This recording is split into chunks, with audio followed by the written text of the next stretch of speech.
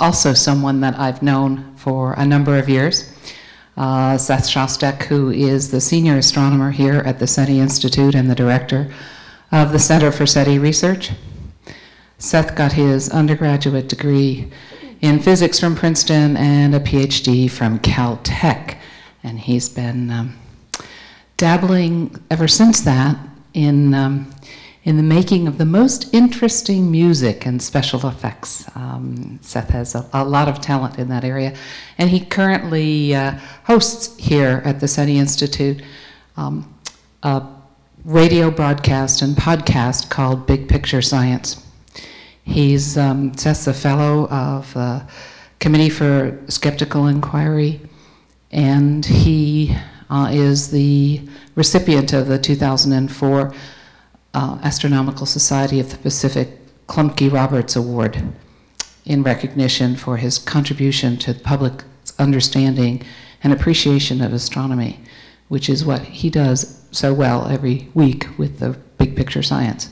So, Seth, um, let's hear about the limits on interstellar messages.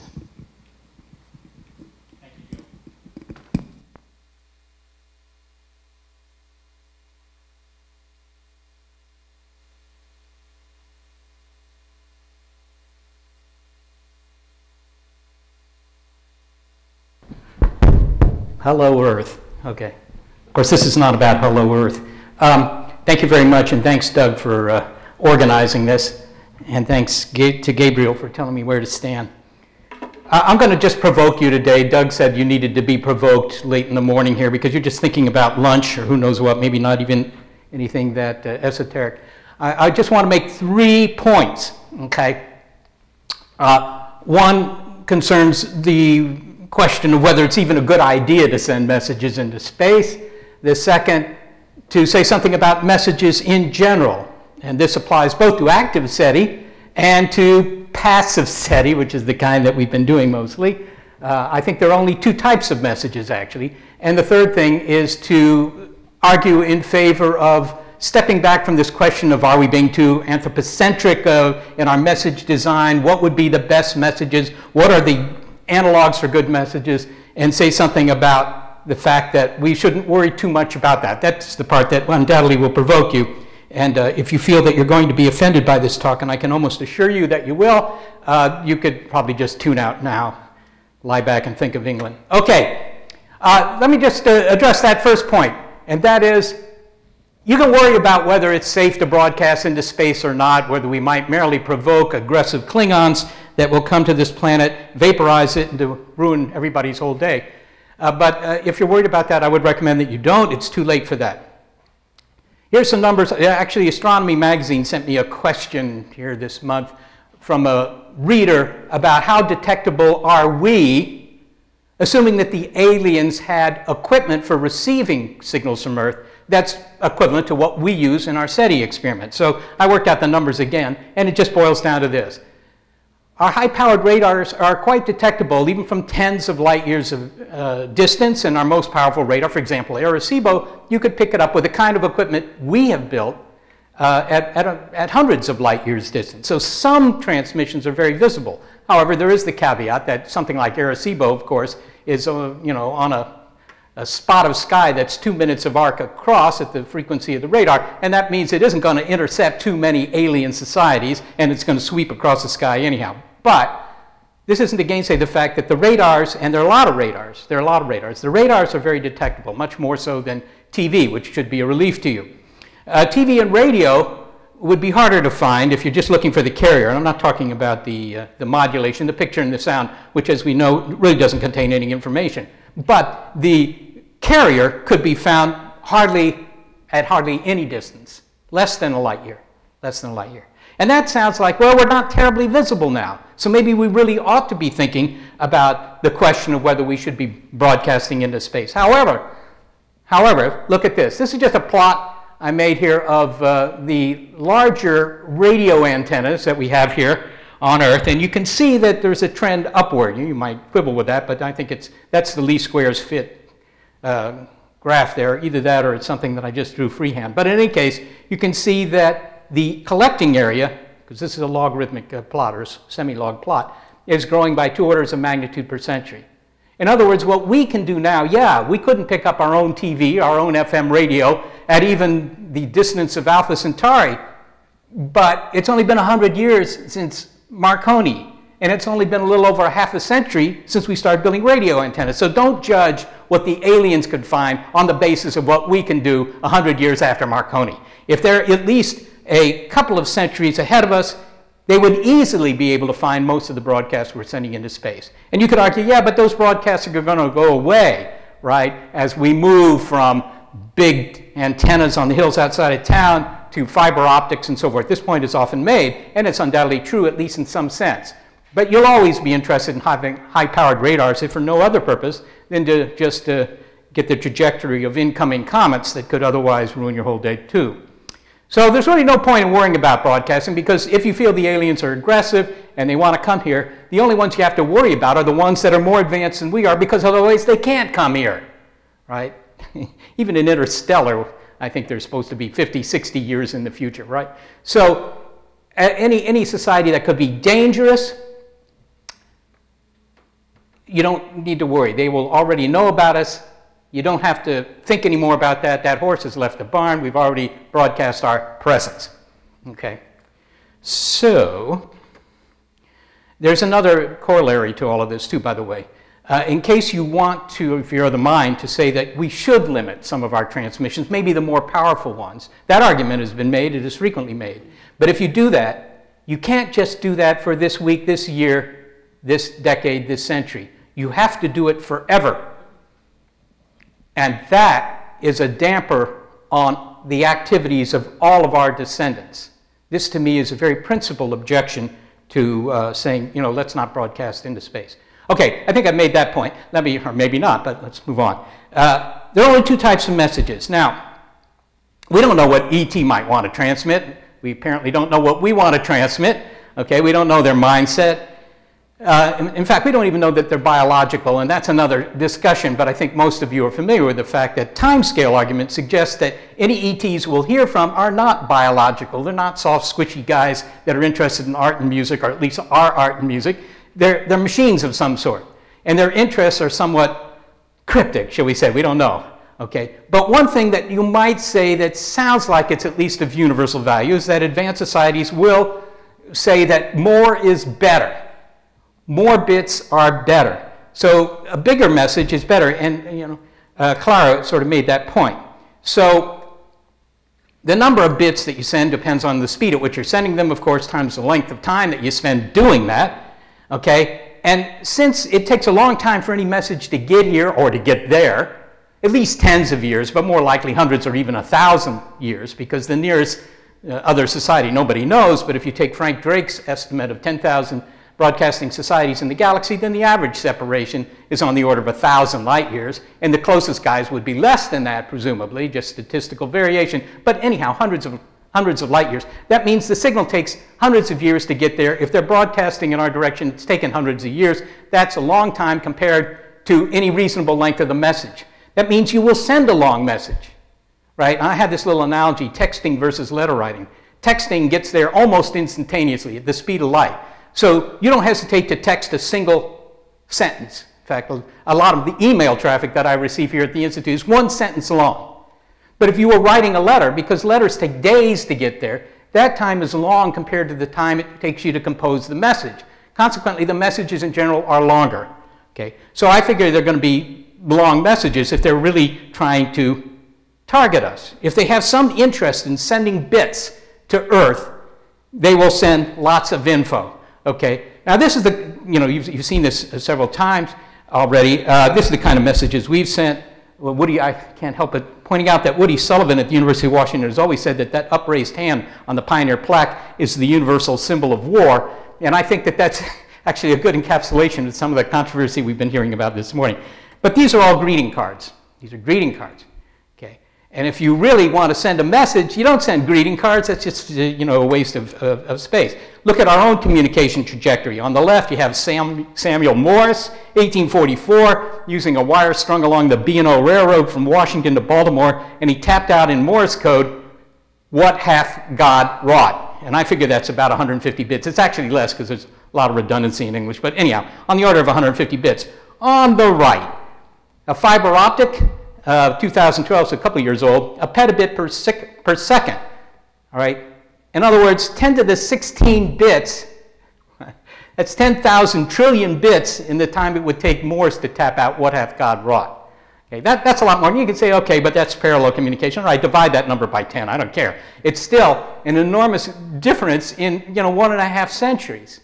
Right? So the idea, that, that's, by the way, the entire Library of Congress in one second, if you need some sort of analog there. Uh, so if they're going to send information to us, in my opinion, they're not going to send small bitmaps, graphics, a little bit of music, some mathematics, all that stuff that we worry about. They won't do that. I say send to Google servers. Keep in mind that the Google servers are getting bigger every year too. So whatever you think we should be sending now, in, in 20 years, you'll have a different idea. Okay, because there's so much more to send. And there's no point in sending small bits. Okay, so, but that's, that's one type of message. If they're deliberately targeting the Earth, I figure they're sending a fire hose of information. It's one way. You might as well send it all. Okay, now, there's another possibility, though. Maybe they're not relentlessly targeting the Earth because they don't know you're here. I think that that's fairly likely. If they're more than 70 light years away, all right, they don't know you're here because they haven't picked up any, any signals from Earth. And it's very hard to find Homo sapiens if you can't do it via electromagnetic uh, radiation. Right? It's very hard to see the Great Wall of China if you're a Klingon 100 light years away. All that sort of thing. So, in that case, the only reason they might be sending anything here, assuming it's deliberate, right, is that they know there's oxygen in our atmosphere. It's a habitable planet. Maybe they've got millions of those things in a list somewhere. And they, uh, you know, say, well, let's ping those guys and see if anything comes back. All right. I don't think that they will send lots and lots of information in our direction. That's too costly if they have to do that in the direction of all planets that are simply known to be habitable and they haven't heard from us. So this is the second strategy, where they have this long list of habitable planets and they just send a ping to all of them serially. Here's you know, a, a millisecond or a microsecond ping once every two weeks, two hours, two years, I don't know. Right? And, if, and if you saw that, if astronomers were to pick up a flash in the sky in that direction and then see it again two weeks later, they would spend all the money they've got looking at that part of the sky.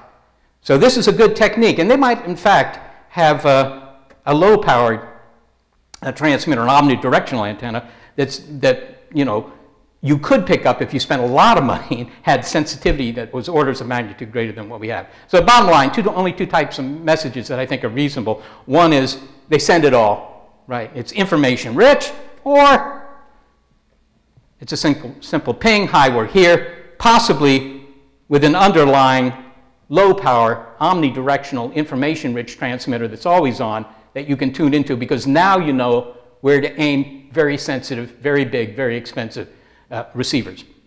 Okay, finally, what could we send? All right, we're going to talk, I guess, uh, these two days about what we should send, but just from a technical point of view, what can we send? Now, you can use Shannon's theorem to compute how many bits you can send per second. Uh, Claude Shannon worked this out in 1948 at Bell Labs. Probably one of the best things that Bell Labs ever did was this paper and uh, th there's the formula there. It depends on the bandwidth and the signal to noise.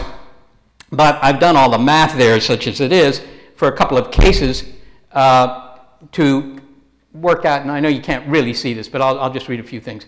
How long it would take to send various messages using various techniques. If we use, for example, narrowband microwave, where you have 5% of the uh, frequency is used for the modulation, that might be typical, you could send a Voyager record in a second uh, you could send D human DNA in two minutes. Okay, you could send send you in two minutes uh, microwave narrowband. If you use other techniques that have been written about, where you can use the entire bandwidth or a lot of the bandwidth, you can you can reduce that uh, by two orders of magnitude, more or less. Uh, if you go to the optical, everything is much faster.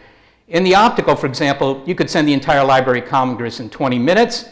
Uh, you could send you know, the Library of Congress in six months with narrowband radio.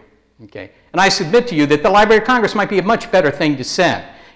Uh, the other thing is, I, I, would send to Google servers. I've already said that. That would take a couple of weeks, a couple of months, and then just send it again, and then send it again, and then send it again. The problem here, of course, is that the Google servers are doubling every couple of years because the amount of information is doubling uh, every couple of years. So here's, here's my suggestion to you. This is, here's a Mayan codex. Not too, it's hard to get much out of this, right? It's hard. They've gotten something out of it. This is not good. Not, not enough material. Not too many examples. Not too many bits. This is another greeting card kind of message, right? Much better were the Roman hieroglyphs. Right? There were a lot of them because they're on stone and they're in a country that's very, dry, very dry. Okay, so there's a lot of this material, and as a result, this could be figured out fairly quickly. If you send the internet, Kim doesn't think it was figured out so quickly. It was figured out fairly quickly. We had a Rosetta Stone, but without the Rosetta Stone, you still would have figured it out. I think you would have. Uh, if they could figure out the Mayan Codex, they could figure this out. In any case, it's better to send more. More is better. And with microwave radio, if we want to do active SETI, we could send the uh, Encyclopedia Britannica in roughly 10 minutes. And I suggest that agonizing about, you know, greeting cards is interesting and fun, but provocatively, I am going to say, forget that. Just send lots of information. So those are my conclusions. We can be detected by any society advanced enough to uh, cause us harm I think there are really only two kinds of signals that make sense, and we should think about sending lots of material. Thank you.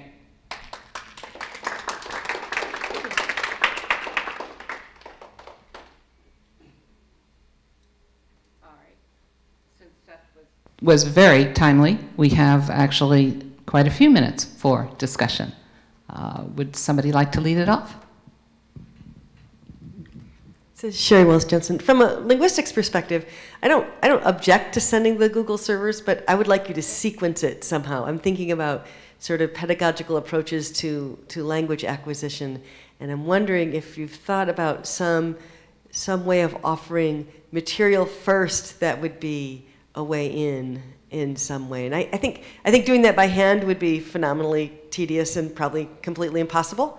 Um, so it might make more sense if you're going to send the whole Google server to have some kind of algorithm that would sort that in some kind of, I don't know, way that we could make up at some point.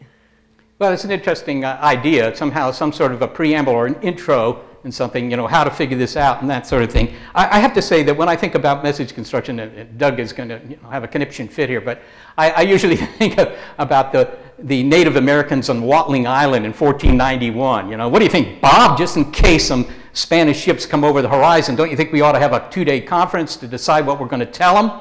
Right? And could, they could have had the conference, but it didn't matter. It wouldn't have mattered okay? Uh, all the details, none of that would have mattered. What in the end was transmitted to the Europeans was as much as they could glean about the culture, not whatever was said on the beaches in 1492.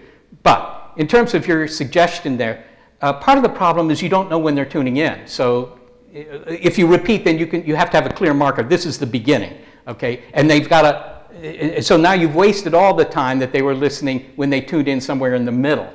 All right, this is the problem that a you know, radio broadcaster has too. Have to keep repeating what the subject is because people begin in different places. Uh, maybe you could do that, but maybe you could do that. My, my thought is that uh, you know, the internet has lots of pictorial material, lots of video material. Much of it is redundant, and it's the redundancy that helps you to decode things. That was true in the hieroglyphics too. You, you find things, you know, like looking for the letter E in a, in a cryptogram. You, you look for the most redundant things first. And so I think that that would help. But I'm not against your idea. I think it's an interesting one. All right, more comments? Uh, I'm going to argue exactly the opposite, so it's, it's going to be interesting. Good. Uh, what about redundancy? I think that redundancy is a good thing if you know what you're going to say. If, if you have a, a clear mind, if you have a good intention that your message gets across so the other side understands it. Otherwise, redundancy is not a good thing. I mean, redundancy is just, you know, blocking the, uh, the other side to possibly understand your message. Yeah. I mean, I'm, I'm not sure that redundancy is a, is a, is a good thing. And, and the second thing you're saying, uh, we have broadcasted already a lot of things, so it doesn't matter anymore. Am I right? Yes. So uh, why don't we change the strategy? Is, is it worth it? Because if you're saying uh, we, we, we've done it already, so we, we started to send a lot of things unintentionally in space already, so we, we already, you know, are doing what we shouldn't do, perhaps. So it's already too late. Are you saying this? Well, I, you know, I think we could sit around here for a long time discussing whether Yeah. it's something we shouldn't do. Uh, You, you made that assumption there. We have done it. But That, I'm- that, that I don't, I'm just saying we, we could change the strategy, perhaps. Would it be worth thinking about it? changing the The strategy. strategy of how to broadcast. You mean whether we should allow big radars to be built, that kind of thing? No, no, to, to change the, the strategy of how to uh, broadcast and what to broadcast. You're talking you- about deliberate broadcast? Yeah, exactly. Well, I mean, that's what this conference is about. I, I'm not to that. Now, your, your question about red- redundancy, that's an interesting point. Actually, redundancy, you're quite right, is if, if you know what you're saying, redundancy is a waste. It's, you know, uh, the, the, the perfect message, of course, has no redundancy. And as a result, it kind of looks like noise. There's no redundancy in the bits. And it's hard to separate from noise. Uh, the, but if you're talking communication, just a couple of points. If you're talking communication, redundancy is useful because it compensates for problems with the signal to noise. When you talk to anybody in here, your, your language is enormously redundant. You know, English written language, you would think, okay, there are 26 letters, so each letter is roughly five bits or something. But in fact, it's more like one bit because of the redundancy of English language. You know that. So why do we do that? We do that because the, the communication channel is imperfect. So I think that there's that. That's, uh, that's the advantage of redundancy. Otherwise, I agree with you. Redundancy just reduces the efficiency of the transmission. But, uh, but this second thing I point out, I would point out here is that, uh, you know, you, you, we have this idea that we're talking to other beings that, you know, they don't look like us, but in some sense they're sort of like this. And Clara has already pointed out that you know, this is a very anthropocentric assumption. Uh, timescale suggests that we're going to invent thinking machines within 100 years, probably less, depending on whom you talk to. There are AI people in the audience, maybe they want to speak to that. But if we do that, that means that you invent radio, and within two or three centuries, you've invented thinking machines, which means that most of the, if you will, intelligence out there isn't biological anyhow. And, and it's, you know, it has, to begin with, maybe semi-infinite amounts of time to deal with any particular questions. And secondly, it may not care so much about our methods of reproduction. I mean, it's sort of like the trilobites broadcasting to us. The things that are important to trilobites may not be so interesting to us.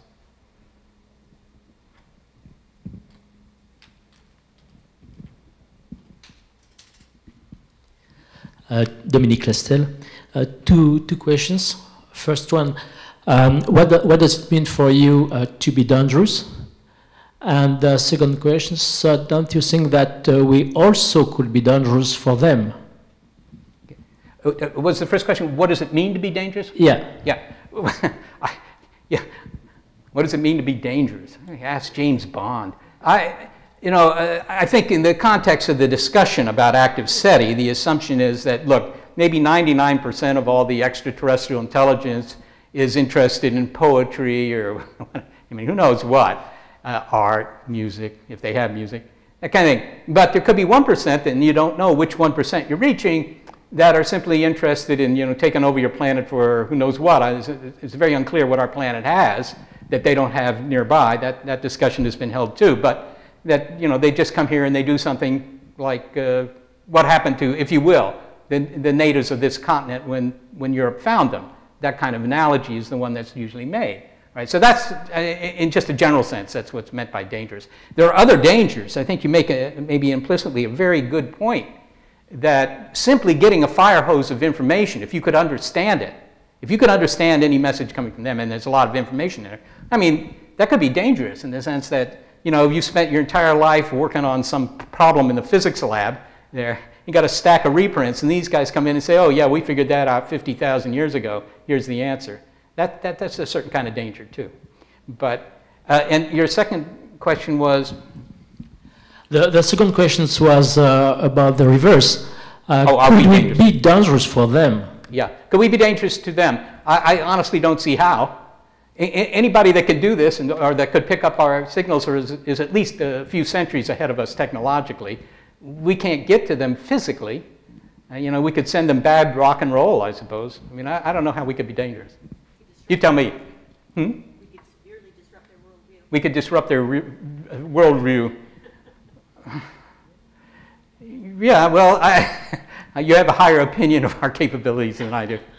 I, I, I should think that we do not know exactly what it really means to be dangerous. We have, uh, we have uh, visions about what it could be, for instance, in a prey predator situation or stuff like that, or in subversive messages. Or I think that it could be interesting to try to dig a little bit more what it could mean to be dangerous in Yeah, I- such a I- context. I think that's a good point. Actually, I do, because, you know, you say danger, and of course, what springs to most people's minds is what they've seen in sci-fi movies, where the aliens come and they destroy Los Angeles. Not that, as a resident of North, uh, Northern California, I find that such a bad idea. But yeah, it's usually physical destruction that we, we think of. And I, I think you make a good point that we, we don't even define what dangerous means. Yeah.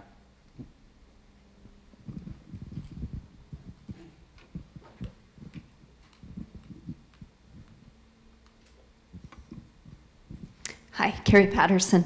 Um, two questions that may or may not be related, but I'll start with the first one, which is about power requirements if you're going to be sending this enormous stream and the cost associated with that.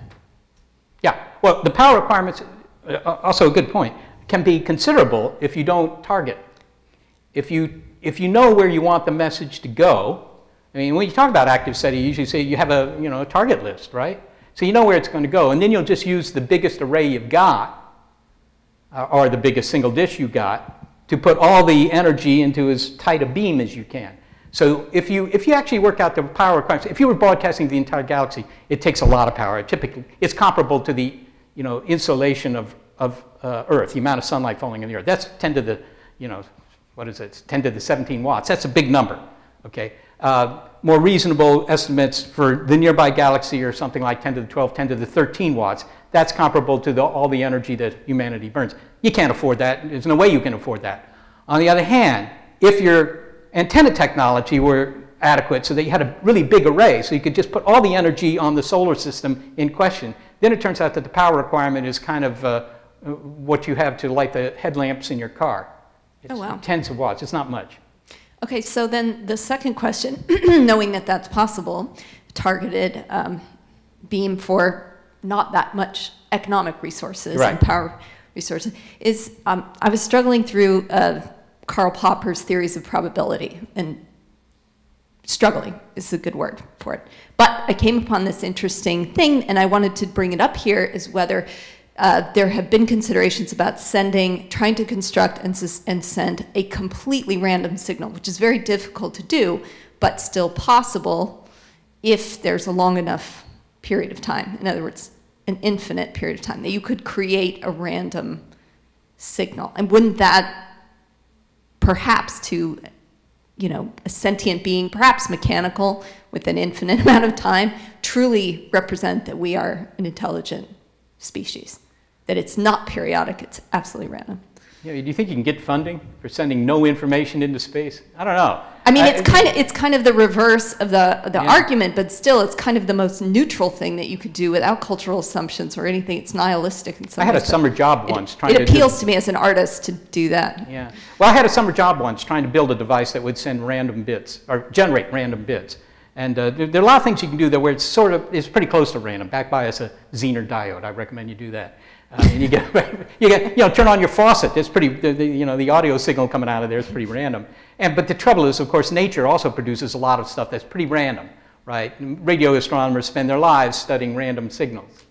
Okay, so there, there's that problem that you, you might not know. Well, if you don't see any obvious information on this signal, there's going to be a very strong tendency for the uh, Klingon scientists to spend all their time trying to figure out a natural explanation for what the signal is rather than doing what you're suggesting and saying right away, well, this has to be artificial. It would take them a long time, to, I think, to come to that conclusion. Because over any finite part of, a finite length of time, you know, it's only pseudo-random. It's not completely random. yeah perhaps if it was sent in tandem with something that was quite constructed if you had the two anyway Well, it- that's it- just a, it's just something i was curious if it's come Yeah. up before It's, a, it's an idea. It's hard to make something completely random, as the computer scientists.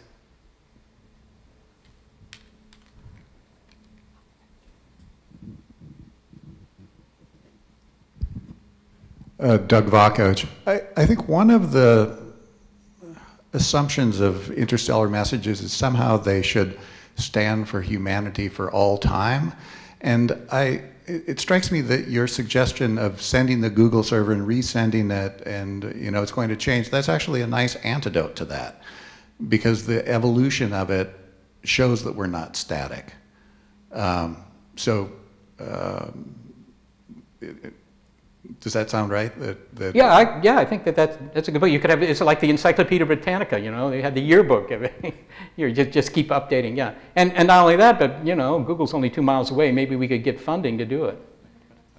Yeah, I'm all for that.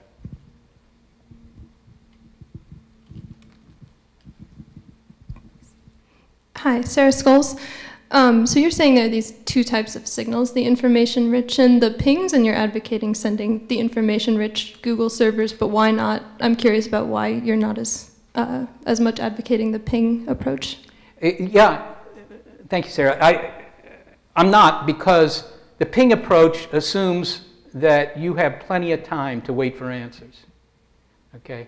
And, and, and it's already been pointed out, I think uh, Clara pointed this out, that these are one-way transmissions. I think we all know that, right? This is the, the same as the, the Roman Empire talking to you. It's one-way transmission. You get a lot of information, you can't talk back.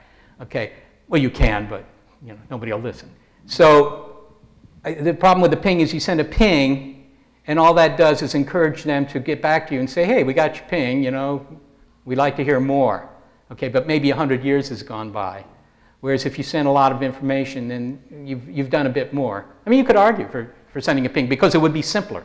And particularly, really, if you really want to do this, I, I, think you ought to ping in the infrared, something like that. So you can really reach a lot of stars very quickly. You just have a, a, a, a big, if you will, optical setup, right? Maybe an interferometer, that would be good. That would allow you to electronically steer it around and just ping the nearest million stars, you know, once every hour.